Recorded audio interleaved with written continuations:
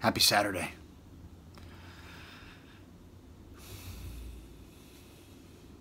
Connection.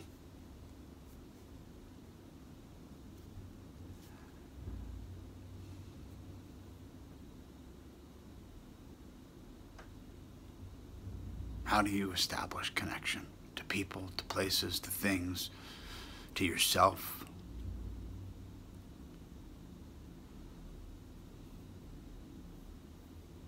How do you, or how do we, or how do I? I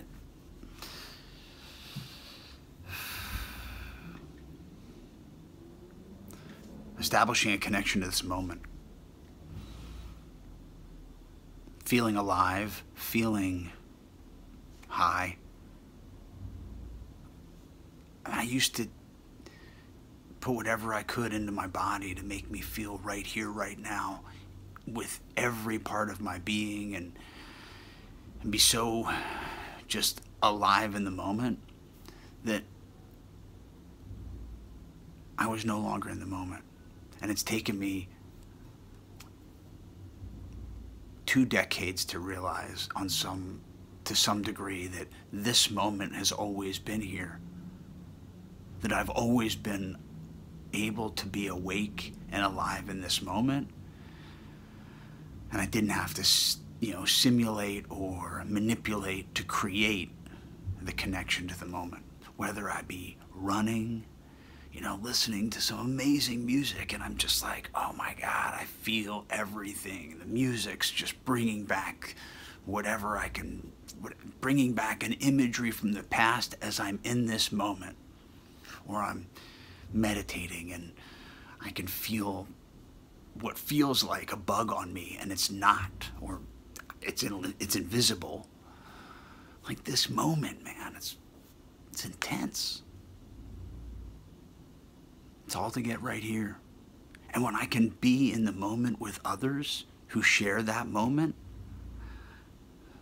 that high is, is like multiplied. Because then we're all in that moment and we're all connected. And if I can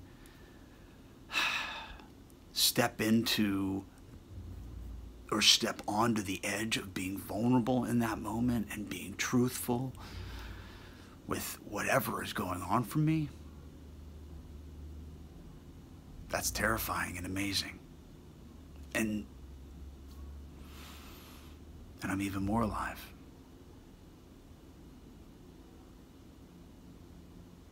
And this device that I'm using to make us feel connected does work, but nothing substitute the connection between being in in front of another human being. Phones and everything, social media, they've connected and disconnected, the illusion of connection. So I invite you to go have that connection with somebody real in your life. I'm lucky that I have a number of those people. Gifted in that. I'm gifted the ability to connect with multiple people on a day, in a day.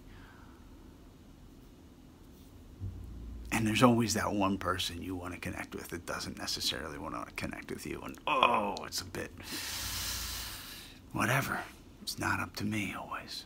It's not up to you. It's, bigger than we. Much love.